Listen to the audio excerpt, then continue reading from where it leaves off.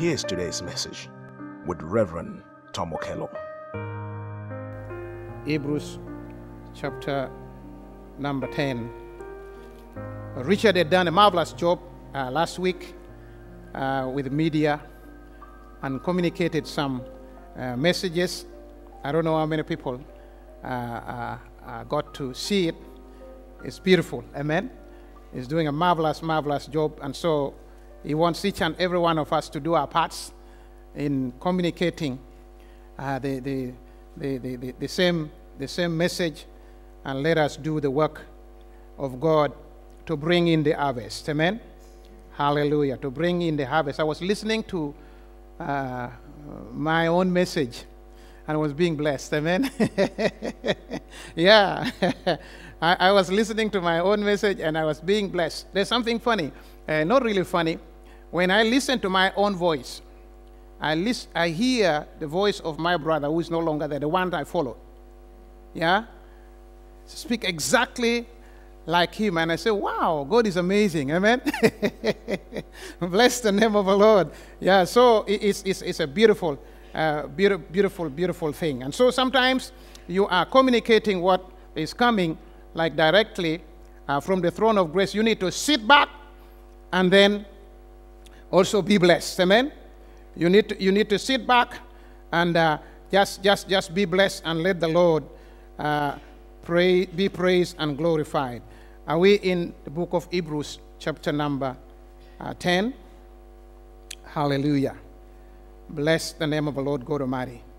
Hebrews, chapter number 10. And the Bible says, verse number 19, Hebrews 10 and verse number 19.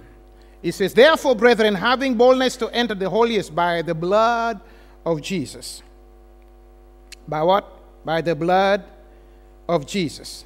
By a new and living way, which he consecrated for us through the veil. That is his flesh. And having a high priest over the house of God, let us draw near. Amen. Somebody say, Let us draw near. Let, say like you mean it. Let us draw near. Hallelujah. Let me read from where I started again. Therefore, brethren, having boldness to enter the holiest by the blood of Jesus, by a new and living way, which he consecrated for us through the veil that is his flesh, and having a high priest over the house of God, let us draw near with a true heart in full assurance of faith, having our hearts sprinkled from the evil conscience and our bodies washed with pure water. Amen. Let us draw near with a true heart in full assurance of faith. Bless the name of the Lord. There is an entrance that God gives us as children of God, as believers. Amen? I said there is an entrance that God gives you and gives me because we believe in Him. We are His children. We have made up our minds that we are going to live for Him, that we are going to walk and work with Him, and that we are going to serve Him in every way. Amen? Bless the name of the Lord. It is an entrance. And so, as it is an entrance, the Lord wants us to have boldness. Somebody say boldness. Amen. The Lord wants us to have boldness. Boldness here is required because even in the natural, when something belongs to you and you know where it is and you're going for it, sometimes you get obstacles. You come against barriers, delays, and even people who want to take away from you, steal from you, and yet you know in your knower that that particular thing belongs to you. Amen? You know it belongs to you. And so, when you know it belongs to you and you are not bold to go for it because it is in your name, somebody else can lay claim on it. Amen? Somebody else can lay claim on it. And here, what the Bible is saying is this entrance is like an opening for individuals to see, but also an opening for the whole body of Christ to see. Amen? It is good for one, it is good for the body of Christ. And so it is good for one in the sense that you and I have got to be fully persuaded it is what we require. Amen? Every individual has got to be uh, fully persuaded that it is what we require. There is a new and living way. There is an entrance that has been given unto us. The Bible says, Amen, that Jesus Himself has consecrated it for us through the veil. Hallelujah. Amen. That is His flesh. He was wounded for our transgression, He was bruised for our iniquities. The Bible says, the chastisement of our peace was laid upon Him, and by His stripes we are healed. Amen. By his stripes we are healed. To me, it is like if Jesus had not gone through what he went through, there would have been that perpetual veil. You agree with me? That perpetual darkness, a blockage that nobody could really penetrate. It could not have been maneuvered or manipulated in any way. But this is what he consecrated for us through the veil that is his flesh. And the Bible says us here, we have an high priest over the house of God. Mm-hmm. We have an high priest over the house of God. How many prayerful people here or praying people? Let me just not say prayerful. How many praying people are here? Amen. Bless the name of the Lord. Amen. I, let me say again. How many praying people are here? Even if you say the grace. Huh? Bless, because if I say prayerful, that is another level, okay? Praise the name of the Lord God Almighty. Hallelujah. We have a high priest over the house of God. That gives you and me some confidence. Amen? Because the confidence that we are deriving from this, what we are saying here, is in our relationship with the Lord. Are we together here? It is in our relationship with the Lord. This relationship is so good, so good, so, so good that the moment we enter into, we are exposed to a vast, vast amount of benefits that would not have been there on the other side of the wall. Amen? And so, for the praying people, every time you hear the word priesthood or a priest, you know prayer is involved. Amen? There is no priesthood without prayer. And if anybody would say, or declare themselves a priest and they are not praying, then you've got to tell them, sir, I think you're in the wrong place. Amen? So why praying? Because God has ordained that through prayer we communicate with Him. Amen? We get to Him and we receive from Him. We talk to Him and we hear back. And so, where there is no communication in prayer, we are going to be like people we, we, who are not different from anybody. And so, God, in His wisdom, as a high priest over the house of God. When we stand here to pray, when we stood there to pray for Kenya, Jesus was involved. Amen? Every time you come and you, you kneel down, you, you know, whatsoever position you take, and you say, Father, in the name of Jesus, Jesus, Jesus is involved. Hallelujah. And so when we pray and we don't see whatsoever we are praying for, we should not think that maybe God has not heard. No, no, no. We say, Father, in the name of Jesus, we have a high priest over the house of God. And we have heard this here that we are this mobile house. Okay? Seriously. we are this mobile mobile house. The Bible makes us to know that this body here is the temple of God. Amen. That anywhere anywhere you are going to pray. Amen. You are praying from the temple. Did you know that there's free parking within the vicinity of JIAM Glory UK Church? Yes, free parking we all know that parking itself within London has become a problem. So why not join us for worship this Sunday, breakthrough service at 1.30 p.m. Address 109A, Bramshot Avenue, Charlton SE7 7HX. Call 0208 858 2628. That's 0208 858 2628. Mobile 07868 782 534. The number again 078 68 78 2534. And don't forget to invite a friend. And now, back to our today's message with Reverend Tom Okello. You are very, very powerful as a believer. Somebody say, I'm powerful. God is with me. Say that again. I am powerful. God is with me. Say it another time. I am powerful. God is with me. So if, if we are going to be too nice for our God, for our good, what is available for us is not is never going to get to us. Are we together here? Let me say that again. If we are going to be too nice for our own good, what is available for us is never going to be seen or experienced and used by us. And so when you are saying you are powerful, you better mean it. Amen? It has to work for you. Hallelujah.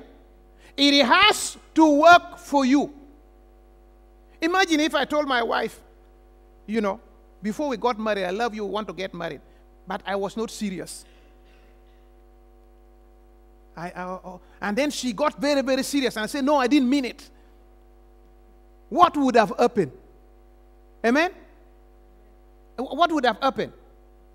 So I said it knowing in my heart I meant it. It had to take us somewhere. And so many times we say things for the sake of saying. Amen? We say for the sake, it ought not to be so.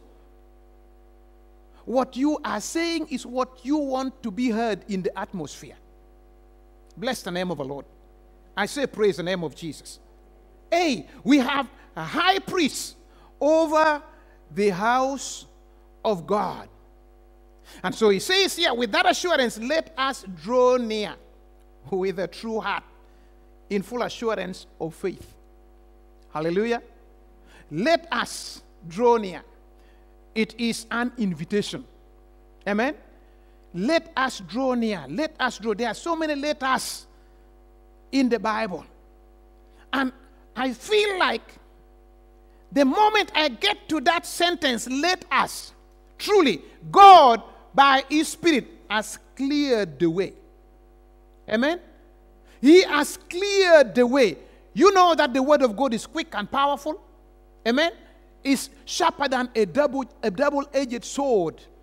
So that when it's he getting into my ears, it's not only getting to, into my ears for it to be processed later. While Peter was still speaking, they got filled with the Holy Ghost. Amen? While he was still speaking the word of God, the Holy Ghost came upon those in the house of Cornelius. And so the entrance of the word of God gives us light and understanding. And so we should have an appetite for it that I am not going to allow anything take my focus away so I miss it. Amen? Oh, you can miss this season's sales, whatsoever it is that you wanted to buy, but the season caught up with you and it's no longer, you can miss that. You can get something else later, life permitting. But there comes a time when God is speaking, when He's speaking, and He wants His word to be heard at that particular moment. We can't afford to miss it. Amen? In a world of many, many voices, in a world of confusion, in a world where your attention is required by all sorts of things, we need to filter through the Word of God. Are we here? Amen? We need to filter through the Word of God and say, This is what He is saying now, because that is your safety. That is my safety. That is what separates you from somebody who is just doing their own thing and is not focusing on the Lord. Amen? Oh, bless the name of the Lord. Somebody praise God. Somebody praise God. Let us draw near with a true heart. Brethren, my heart is with me. Your heart is with you. Hallelujah. Amen. My heart is with me, and I go with it everywhere. Your heart is with you, and you go with it everywhere. Hallelujah. Such that when I am not being truthful, I don't guess, I know. Are we together here? I don't wonder whether am I being truthful or not. No, I know. I don't know about you, but I, I, I know when I am not being truthful.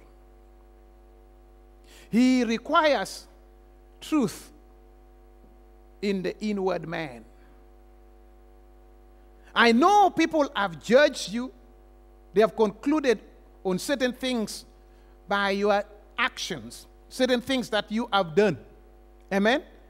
And they have just concluded that so and so is like this. They have given you names.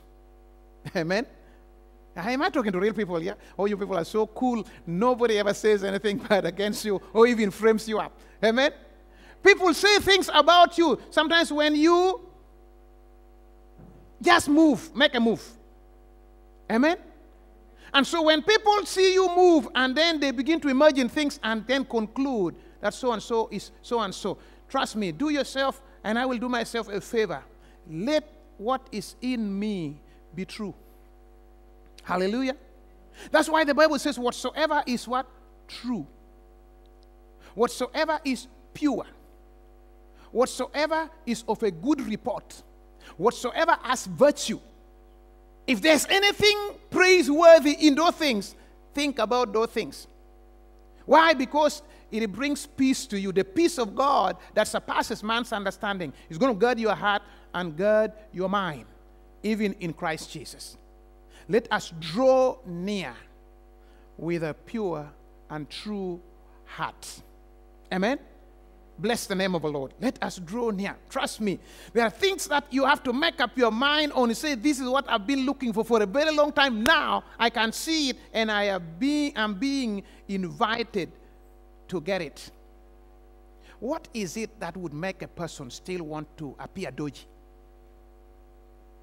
Eh? Are we thinking together here? what is it that would make a person still appear? You, you, you have waited for it all your life and you can see it and you have heard clearly the invitation. Come, draw near with a, a true heart. We say that our hearts go with us wherever we are. Amen? And so God wants a connection here. That I want you when you get what you get, not to think that it was a mistake or some coincidence. I want you when you get you know that this is the Lord's doing and it is so marvelous in our eyes. You know, the devil is faking so many things today to take away the minds of the people of God so that their faith is in something else and not in the Word of God. Amen? But when truth from here is drawn to the truth that is already there, there's going to be an explosion. Amen? I said there is going to be an explosion. I mean, we sometimes struggle with friends, long-time friends, you know, short-time friends, and you know those who have known for a very long time. And you wonder sometimes when they do what they do, you get surprised. Say, "Wow, I didn't know this person could do a thing like this." But when truth is inside us, it begins to detect lies that are around. Amen. Yeah. The Lord wants us to be sharp. I was talking to somebody the other day and they started a sentence. Oh, bless the name of the Lord. And as they started a sentence, I said, Stop, that's a lie. eh? I had not I had not heard the entire thing. I said, Stop, that's a lie. So the person was taken aback. I said, Ah, I was so excited over this, but you are telling me it is a lie. But because I trust you and there is a track record, I will take it as a lie. Somebody praise the name of the Lord. Amen. And so, and now I allow them to carry on to finish. I say, you, you, do you see now? Do you see now? When I began to explain the thing now to the person, she said, uh uh-uh. uh This person was about to con me. I said, stop, that's a lie, that's a lie. And this person had woken me up out of sleep. Amen? Out of sleep. There are people who put a demand on me, waking me up out of sleep, and they want a word from God. So if I was having a bad dream, I can only give them a bad dream before I wake up. Is somebody with me? What am I saying? The Lord is calling us to draw near. Amen? He's calling us to draw to draw near. Bless the name of the Lord. Let's carry on. Let's carry on with this. Let us draw near with a true heart in full assurance of faith, having our hearts sprinkled from the evil conscience. Amen. And our bodies washed. Amen. With the pure water. Our bodies washed with the pure water. There is a work of the Spirit and the work of the Word. Amen. There is the work of the Spirit and the work of the Word. Bless the name of the Lord Guru Almighty. Every time you are reading the Word of God with an open heart, open spirit, open mind, you are actually in the shower. Hmm? You are in the shower, being cleansed. Hmm? You, are, you are in the shower and you can look at yourself right in the mirror of that Word. You are in the shower, being cleansed. That's what the Word does. Hallelujah. And so the more we are in the Word, the more we are being cleansed. Hallelujah. I said the more we are being with the more we are being cleansed. It is pure water, trust me. Amen. It really is pure water. Bless the name of the Lord. And the Bible says here, let us all fast. The confession of our hope without wavering. There's so much meat here. So much food here can last us the entire year. Amen. Hallelujah. There is deliverance in this scripture here. There is freedom here. Praise the name of Jesus. I say there is exaltation here. Bless the name of the Lord. Let us hold fast the confession of our hope without wavering. He has told us to draw near with a pure heart, clean heart, to get a hold of faith. And as we get a hold of faith, he said, we are to consistently, without moving left or moving right, we are to consistently hold fast, hold tightly our confession. Amen? The confession of our hope without wavering. I heard something very clearly this morning about this. When we are holding fast our confession, it is not so much about speaking it. We can speak it, okay? Are we together here? When us to be, when us to, to, to sit up. We can speak it. It is heard. People hear. We also hear what encourages us about what we are talking about. Amen? But there is an action part to that. There is an action part to that. You have heard older people telling younger people that do as I say, but don't, not as I. Uh, have you heard that?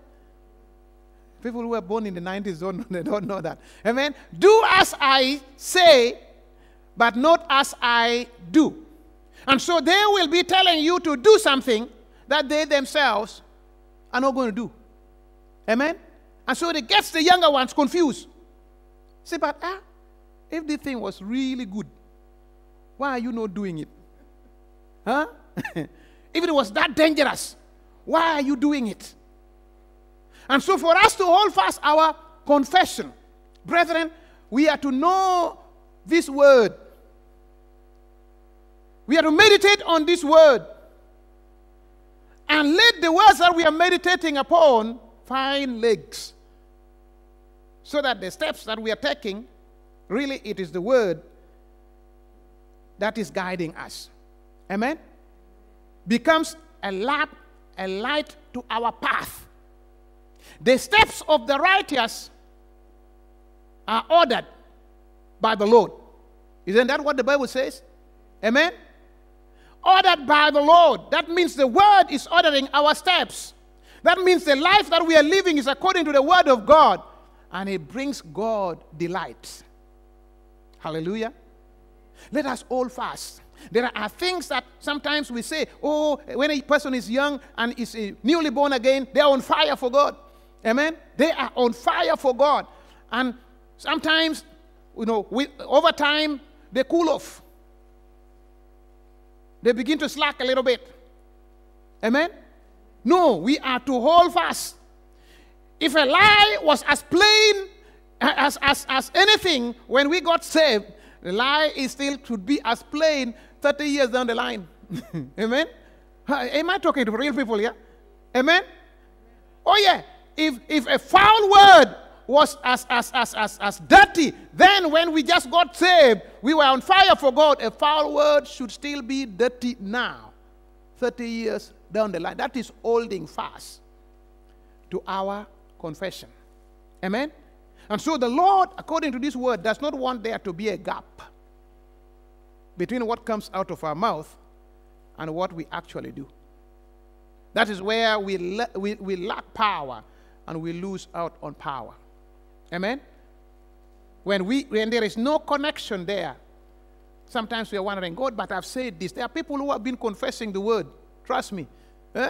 They have been confessing the word, but they're right there where they have been confessing the word. They have not seen anything change.